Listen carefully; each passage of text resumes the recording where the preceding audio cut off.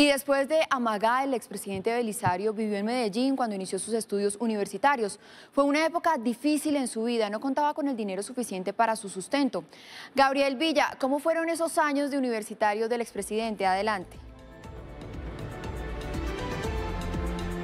Hola Marixia, ¿qué tal? Buenas tardes.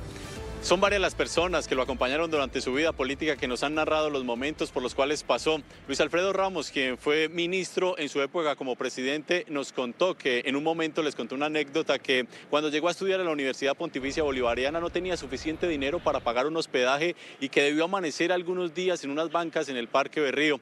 Pues para el homenaje del expresidente Belisario acá en el departamento de Antioquia se han decretado tres días de duelo y las banderas en todos los espacios públicos deberán permanecer como estas que están acá en la Asamblea Departamental La Media Hasta. Están las banderas del Departamento de Antioquia y también del municipio de Medellín. En este espacio donde fue diputado entre 1945 y 1947 le rindieron un homenaje en su tierra, en la cual fue diputado entre 1945 y 1947, se decretaron tres días de duelo y se ordenó que se hice a media hasta las banderas ubicadas en el exterior de los edificios públicos. Creo que fue el primer presidente donde el acercamiento a la gente, el lenguaje sencillo, la gente lo veía a él como otro ciudadano más del común.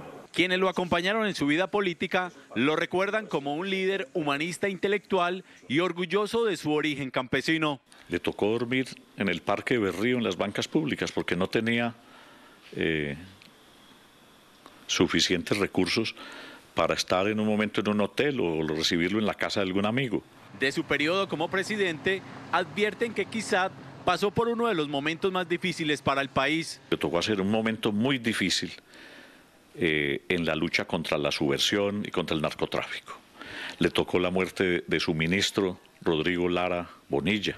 Desde Antioquia sus amigos lo recuerdan como el visionario que siempre estuvo dispuesto a escuchar todas las opiniones políticas.